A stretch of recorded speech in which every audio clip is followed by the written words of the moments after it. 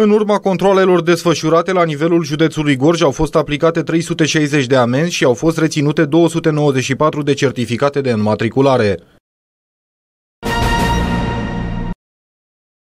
Agresorul motociclistului Costel Laba a fost prezentat astăzi din nou în fața judecătorilor de la Tribunalul Gorj. În prima zi de vacanță, magistrații s-au întors la serviciu pentru a analiza măsura de arestare preventivă și au decis ca Viorel Constantin Bașalderu să rămână după gratii în timpul procesului. Următorul termen va avea loc pe 12 august. Tânărul de 30 de ani din Târgu Jiu a fost trimis în judecată pentru loviri sau vătămări cauzatoare de moarte. Altercația a avut loc pe 1 iunie și s-a soldat cu decesul bărbatului de 47 de ani, cunoscut cunoscut în Gorj pentru pasiunea pe care o avea pentru motoare.